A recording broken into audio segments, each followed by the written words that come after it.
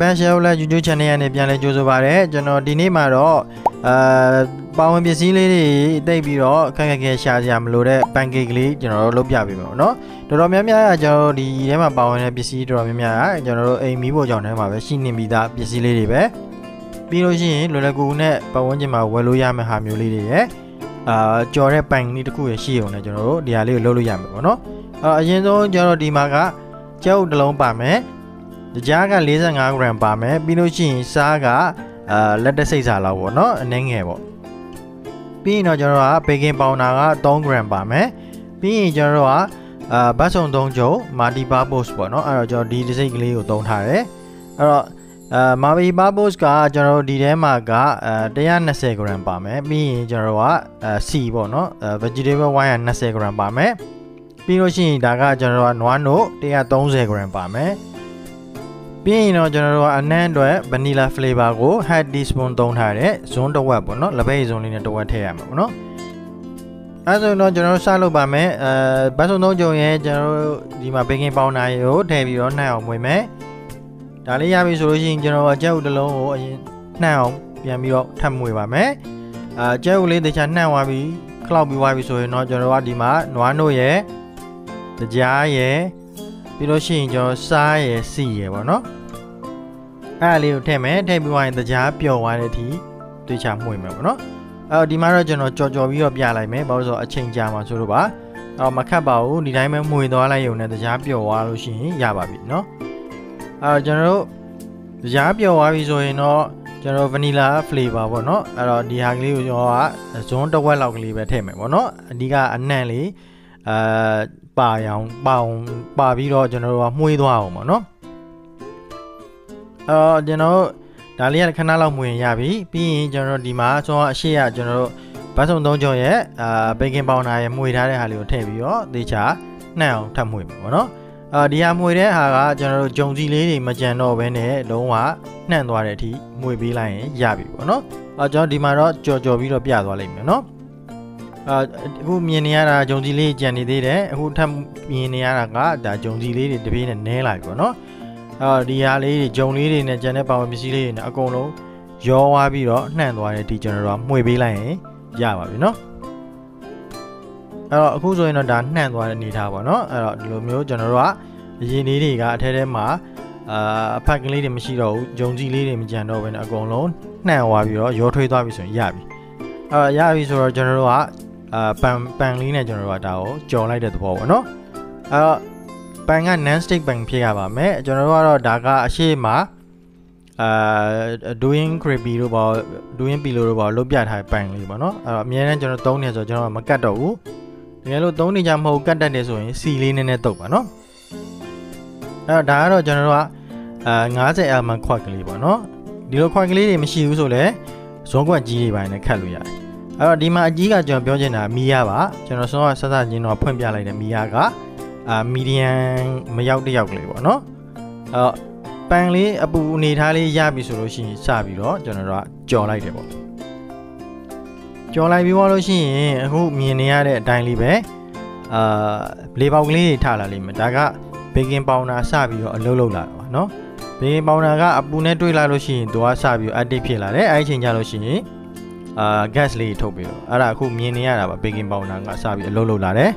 အဲဒီမှာလေပူပေါင်းလေးတွေလေပေါက်ကလေးတွေပေါ်လာလိမ့်မယ်အဲ့လိုမျိုးပေါ်လာပြီးဆိုလို့ရှိရင်ကျွန်တော်တို့ကနောက်တစ်ဖက်ကိုလှန်လို့ရနေပြီပေါ့နော်အဲ့တော့ကျွန်တော်အနီးကက်ကလေးတွေရိုက်ပြနေတယ်ပေါ့နော်အဲ့မှာလေပူပေါင်းလေးတွေကတဖြည်းဖြည်းနဲ့အာနေရာတော်တော်များများမှာလေပူလေပေါက်လေးတွေလေပေါက်လေးတွေထလာလိမ့်မယ်နော်အဲ့ဒါဆိုရင်ဒါကအောက်ကတစ်ဖက်ကအာနေတော်လေးရလာပြီပေါ့နော်အဲ့တော့ကျွန်တော်အခုအာတစ်ဖက်ကိုလှန်ပြီးတော့ပြလိုက်လို့ရှိရင်အဲ့မှာအတွင်းဘက်ကလေးမှာကာလာလေး ရနေတာကိုတွေ့လိမ့်မယ်နော်အော်ဒီလိုအနေထားလေးဖြစ်ပြီးွားပြီးလှန်ပြီးွားပြီဆိုရင်နောက်ထပ်10မိနစ်10မိနစ်ခွဲလောက်အာနည်းနည်းလေးထပ်ပြီးတော့တစ်ဖက်ကိုအပူပေးပေးပါပြီးရင်တော့ကျွန်တော်ချလို့ရပြီပေါ့နော်အဲ့တော့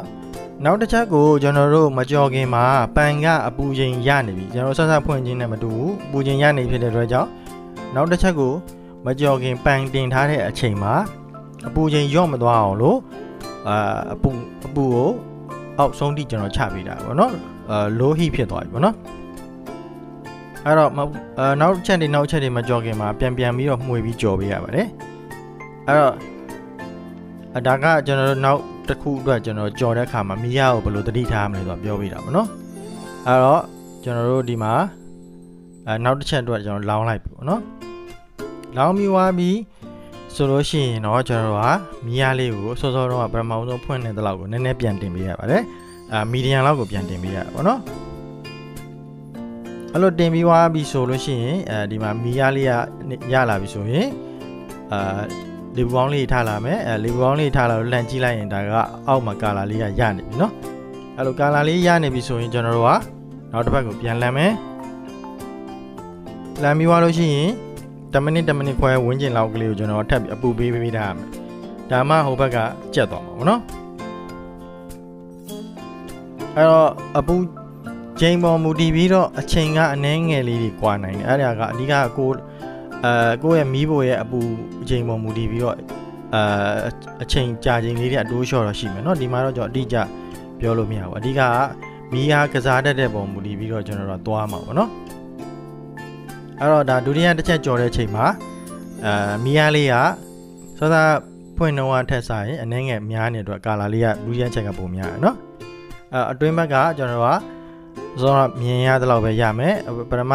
ထက်ထက်ချင်းကမျက်နှာပြင်လောက်တော့အာကာလာလေးကလှမနေဘူးနော်အဲ့တော့ဒါကကျွန်တော်တို့အာပန်ကိန်းကလေးကြော်ထားတဲ့နေထားအကုန်လုံးပေါ့နော်ဆိုတော့ဆက်ထားတဲ့ဟာတွေရဲ့နေထားအကုန်လုံးကိုကျွန်တော်ပြတာအဲအတွင်းဘက်ကတော့ကျွန်တော်တို့က အာတစ်ဖက်ကမီးရဖြည်းဖြည်းချင်းကြီးတက်သွားတာတစ်ဖက်ကကျတော့အာကြော်ပြီးတော့မှတစ်ဖက်ကိုလှန်လိုက်တာဖြစ်တဲ့အတွက်ကြောင့်မလို့ဒီအနေထားလောက်လေးပဲရမယ်ပြီးတော့ပြုတ်ကလေးတွေထားနေတာကအာဘေကင်ပေါင်နာရဲ့အာပါဘယ်လေးတွေကြောင့်ဖြစ်တယ်ပေါ့နော်အဲ့တော့တစ်ဖက်မှာတော့လှမယ်တစ်ဖက်ကတော့အဲကျွန်တော်ကျွန်တော်ပြရအနေထားလောက်ပဲရမှာပေါ့နော်အဲ့တော့ကျွန်တော်ပြီးရင်ကျွန်တော်အာပြားရည်လေးနဲ့ကျွန်တော်ကတော်တော်များများတော့အဲ့လိုမျိုးလေးဆန်းစားကြတယ်ပေါ့နော်